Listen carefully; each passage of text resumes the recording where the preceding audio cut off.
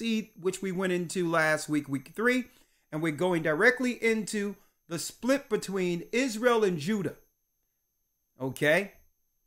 Why did the Most High curse his people? And where are they? Right? oh, yeah. We're going to go into the 12 lost tribes found, and we're going to also break down Israelites' deliverance.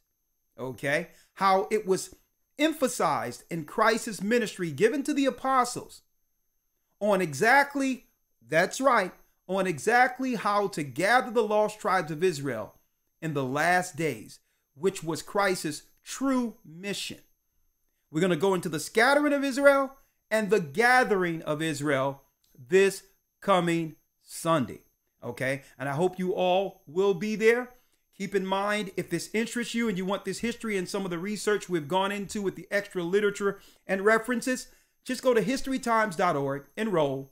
We have the administration working behind the scenes who can just make sure you get all the three lessons missed along with the new link for the new lesson. And guess what? The, the news is, is, is, is like none other. Okay. So if this interests you, go to History Times with an S dot org and enroll. It supports the work. It supports everything we're doing here. All right. And and just like the Bible says, if we have sown into you our spiritual things, shall we not reap your carnal things? Which means that's right. You can't muzzle the ox that tread the corn. Okay? Because the more you help us, the more we research, the more we can we can we can finish this ministry. And Christ said that this message shall be taught throughout the four corners of the earth. Then the end shall come. Then the end shall come. The Pope, the papacy, uh, Islam, they they've been all over the earth, and we're still in these horrendous conditions. So it's not talking about the ministry of Islam, even though they may have some core principles that are okay, or Christianity. It wasn't, it was talking about a distinct ministry that would shake the earth, that would begin to awaken, to awaken, that's right, the lion, the 12 tribes of Israel led by Judah. That was the gospel Christ was talking about. And we're going to go into that and more this coming Sunday. Okay. HistoryTimes.org. Now, okay. We're over a thousand. Thank you for hitting the like button. Let's talk now. Brothers and sisters, we all see the title. What exactly is an Israelite? Huh? What exactly is an Israelite? Hmm, is our topic today. Is an Israelite a Jew? An Israeli? A black man? What is an Israelite? And above all, let's talk about it today and we're going to put it on the table. Just say hypothetically what the brothers on the corner on the corners and I was once out there all over the place since the 90s. What exactly suppose what the brothers on the corners preaching preaching claiming to be Israel's Israelites hypothetically suppose they are correct. So we're going to leave this open ended for if someone would like to oppose some of the history of our people being Israelites, the phones will be open to bring that information to why you think to the contrary. But hypothetically, suppose what brothers and sisters are saying on the corners are correct. That the black slaves that were brought over North, Central, South America, different parts of America on slave ships, right? In Brazil, the West Indies, Haiti. Suppose hypothetically that the the blacks, Hispanics, and the natives and the indigenous people of Australia, the Fiji Islands, Hawaii, and different parts of Asia like the, Philippi- the Philippines or the Cambodians or Vietnamese. Suppose these people are, in fact, from the lost tribes of Israel. Now, does identifying as Israelites, does that threaten the status quo? Right? Or are only one people able to stake claim to being Israelites? I'm going to ask a question again. Listen to what I'm asking you. If the Native American Indians and blacks, Hispanics, and others begin to identify with Israelites, will that does that threaten the status quo? And if so, why would it? What's the harm in identifying with God's people, following God's law, applying that law to our communities so that we could have a better quality of life, a moral society, right? So I'm going to put that on the table today and we're going to talk about that. And for those who don't believe it's true, that's right. 515 605 9327. If you oppose if you oppose the idea of black people being Israelites, I would like you to call in this evening and tell me why. And I also need you to tell me why it wasn't an issue when other people were determined as God's people. And does that make you racist? Okay, there's a lot to, to unpack there, right? But we're going to talk tonight. Now, going back to what is an Israelite? Is it an ideology? A religion? Is it an ideology or religion? Or is it a race of people? Okay. Now, when you when you come in and answer these questions, you can't be convoluted. You can't be in the gray area and say it's it, it could be a little bit of, a, a little bit of each of these. Nah. Stand on your view of an Israelite today. No gray area. Stand on your view. Okay? Not let me put it out there again. Is it an ideology? Is it a religion? Okay. And what we're looking at is how you view Israelites. Is it more from the religious angle? Is it an ideology? More so a mindset that you see trending from your view? Or are Israelites an actual people according to the Bible? Which one of those you you lean towards? Okay? And I want to hear about that tonight because these discussions, brothers and sisters, are he- these are healthy discussions. Why?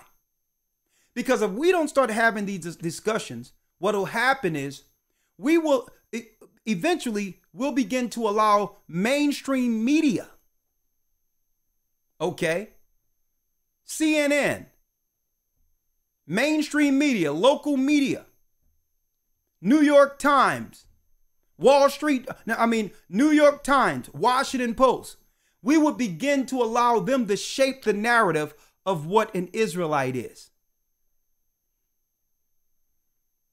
So, in good faith, outside of media, and I'm going to show you why I'm going here, folks.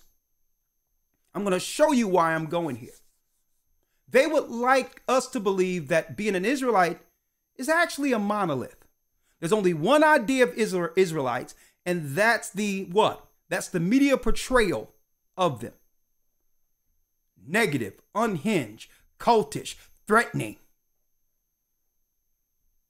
I mean, you would have thought that it was the Israelites that colonized the world and re educated the people and killed off masses of people off of their own lands and re educated them and enslaved them. You would, you, you would think that the Israelites were the bad ones, the way it's being portrayed, right? right? But I digress. A healthy discussion tonight, not pointing the blame, not looking at each, each, each another people. Let's just give your personal view of what an Israelite is. Okay?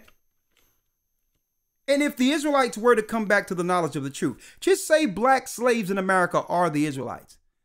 Does that threaten the status quo? What's wrong with that?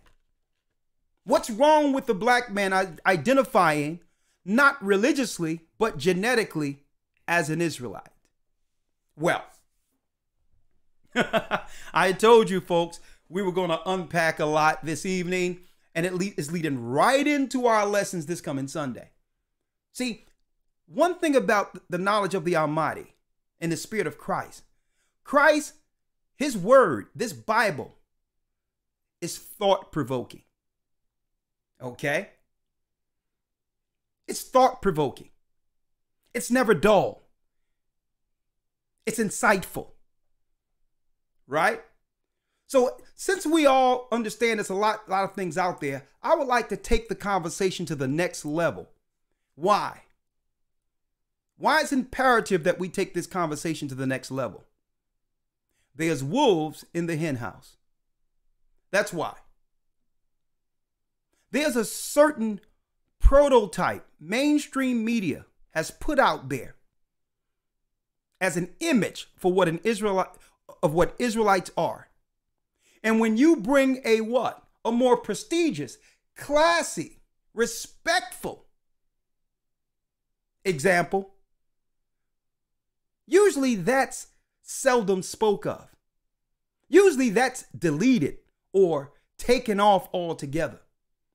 When it when people begin to, to have a positive view of an Israelite, that's pushed to the side by mainstream.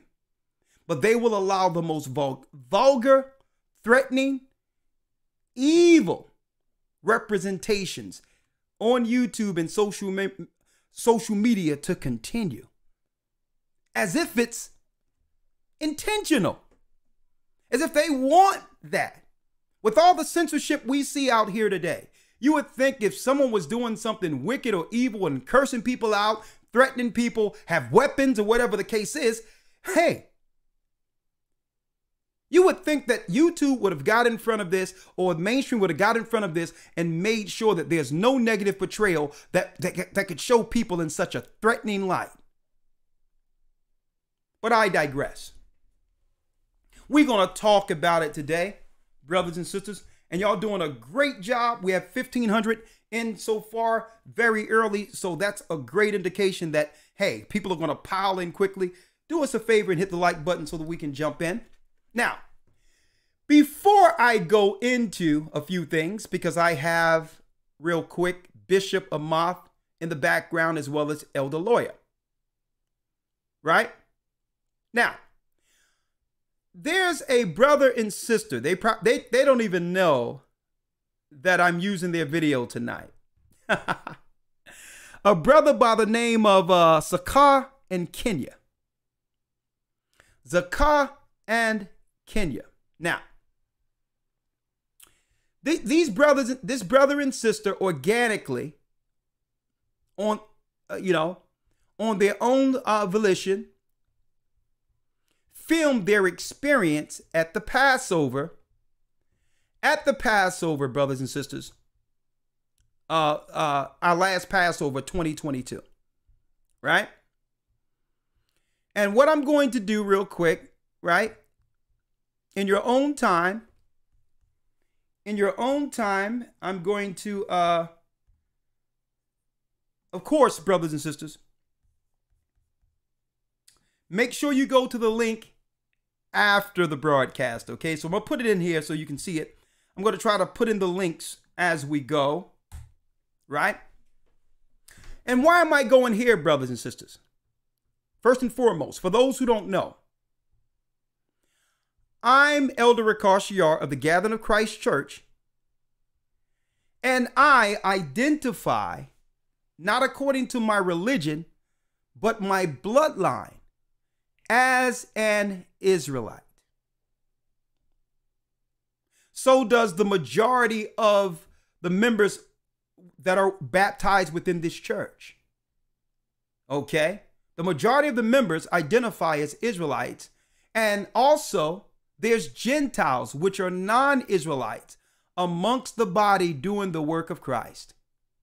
Which means whether they be Arab, uh, white people, whether they be Hamitic people, it doesn't matter. Whether they be from uh, East India and have converted, uh, we have people who are in the academy and have been baptized from Pakistan, whether they be Arabs, they've converted.